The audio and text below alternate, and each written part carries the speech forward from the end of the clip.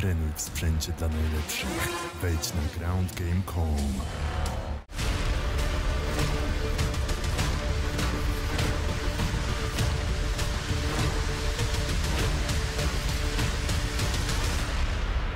man. I mean, obviously the veteran at this point.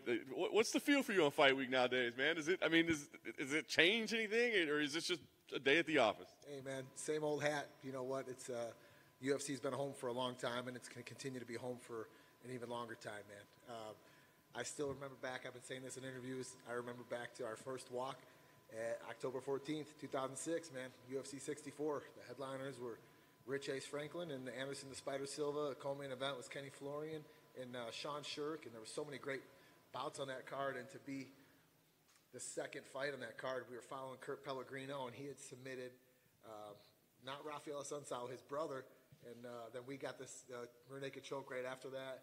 We won submission of the night, and um, we, that really launched us into our UFC career. You know, we had some other pretty big wins before that, fighting Josh Thomson and coming up close, uh, a close loss to uh, Gilbert Melendez and Strikeforce, things like that. So we had a couple of good names, you know, uh, some good competition, but that really escalated us, I think, and um, made us a, a stable, you know what I mean, a, a staple in the UFC. So it's uh, it's amazing to think over 200 UFC pay-per-views later, and countless fight nights, Ultimate Fighters, the new Contender Series, and the list goes on and on. And we're just thankful for to be here and uh, still have a home in the UFC, man.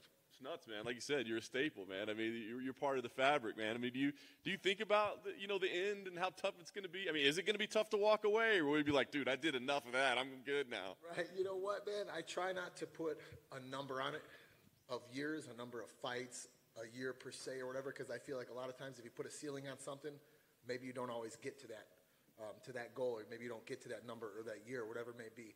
So um, as long as I'm having fun, I'm going to be in there swinging and putting on a show for the fans because they deserve it more than anybody. So um, yeah, every athlete's you know, profession, like, you know, comes to an end, at, you know, sometime or another. You know what I mean? It's just, you know, look at Michael Jordan. You know what I mean? The, the, the dude could probably still still throw on the shoes and go put up 30 points in a game right now. You know what I mean? But uh, it's just it's amazing to see what guys like him have done still in, in the sport, and they're always around it no matter what. You know what I mean? Um, so. Uh, you know, there comes a time in every every athlete's you know career, but that's why wrestling has been such a um, a big part of my you know my career. You know, coaching the youth, coaching uh, you know kids, coaching high school, being around the gym all the time. That's what really makes it worthwhile. Being able to pass on the knowledge that I've learned from my coaching staff at Team Alpha Male, being able to pass it on to these uh, the younger generation. That it always gives you part of you know always keeps you in the sport. Yeah, you talk about having fun, but uh, I guess winning is probably a lot more fun than, than not winning, right? So I mean, how important was that last one to just get that result again and get that feeling again? Absolutely. Michael Johnson was a friend of mine before we even competed. I remember meeting him at Lake of the Ozarks in Missouri a decade ago. Super nice kid. And he told me, he's like, wait, I'm going to be in the UFC someday. I said, absolutely, man. Believe in you.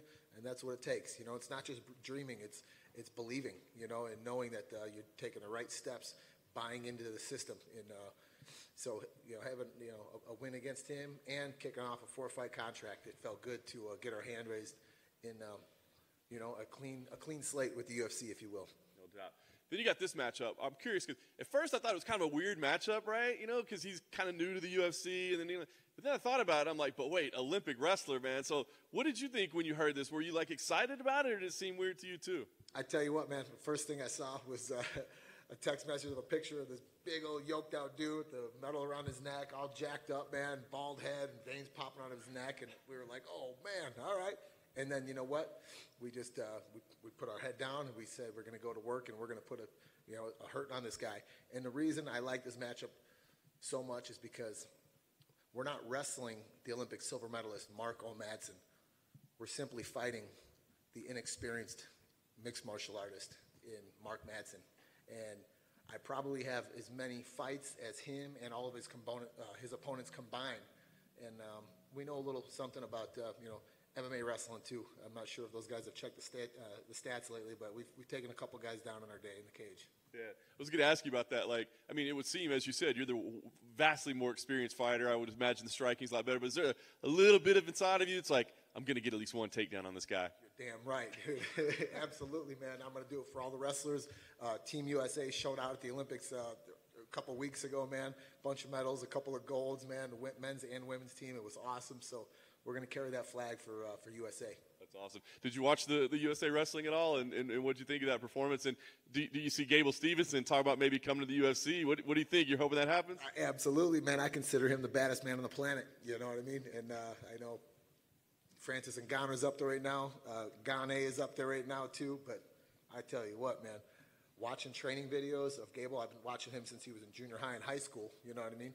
And um, seeing him just come through these ranks and just destroy people. And to be up 23 to zero for all of his opponents in the Olympics, and then to be down in the finals, and to be able to come back against such an amazing competitor that he was up against, a multiple world champ, an Olympic medalist, and for him to stay so poised, you know, and just so flawless in his victory, and just put those points up so quick, and then when he he mat returned the guy out of bounds, just like spiked him like the dude was a feather. It was unreal just to see.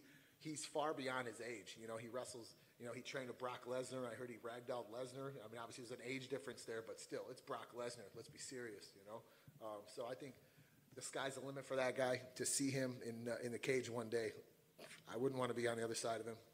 That's awesome. Last thing for me, I mean, look, we know what kind of fight we're getting when you step in there, so we don't have to ask. It's going to be exciting. But let me ask you, I mean, win streak. This will be a big win, co-main event. You know, Olympian, like you said, starting this new contract, win streak. So what is what is the plan for you right now? What's what's what are the goals right now?